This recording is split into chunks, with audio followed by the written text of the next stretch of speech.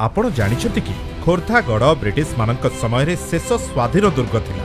ଏହା ସମ୍ଭବ ହୋଇଥିଲା କେବଳ ବୀର ପାଇକ ସେନା ଏବଂ ତାଙ୍କ ସେନାପତି ପାଇକ ପୁଅ ବକ୍ସି ଜଗବନ୍ଧୁଙ୍କ ପରାକ୍ରମ ପାଇଁ ଗୌରବମୟ ଐତିହ୍ୟ ପ୍ରତିଷ୍ଠା କରିଥିବା ଖୋର୍ଦ୍ଧାର ଏହି ବୀର ପୁତ୍ରମାନଙ୍କ ନିକଟରେ ଓଡ଼ିଶା ସବୁବେଳେ କୃତଜ୍ଞ ରହିବ। ଗୌରବମୟ ଐତିହ୍ୟର ସହର ଖୋର୍ଦ୍ଧାରୁ। ଆମେ ଆପଣଙ୍କ ନିକଟରେ ଆମର ନୂତନ ବ୍ରାଣ୍ଡ ଉପସ୍ଥାପନ କରୁଛୁ ଯାହା ଆମର ମୌଳିକ ଗୌରବ ଏବଂ ମହତ୍ଵ ବହନ କରେ।